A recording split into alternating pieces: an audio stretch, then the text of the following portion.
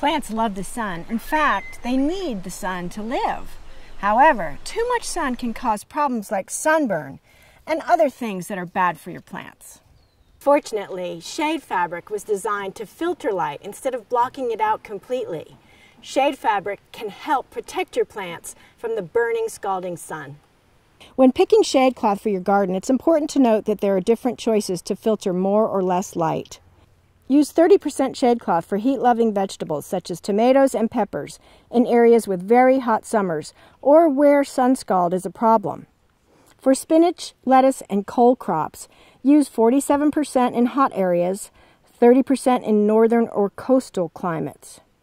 Use 50 to 60% for shade loving plants.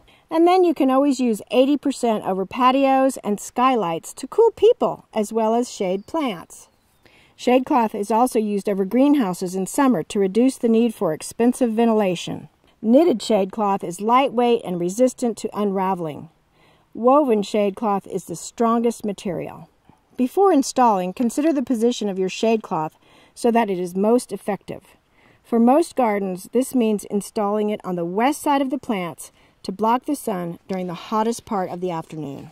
To install your shade cloth, decide how you'll be suspending it over your plants. If you have any anchor points you can use to attach the cloth, such as trees, poles, roofs, or gazebos, you can use these to keep the cloth elevated over your plants.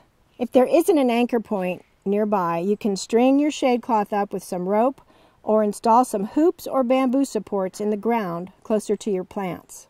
You can attach the shade cloth any number of ways. The easiest option is to use these clippets, which securely fasten to the fabric without tearing it and create a grommet, which you can then tie onto or push a ground staple through. You can also custom order shade cloth with grommets in the fabric to reinforce it and prevent it from tearing. So keep your plants cool in the shade and grow organic for life.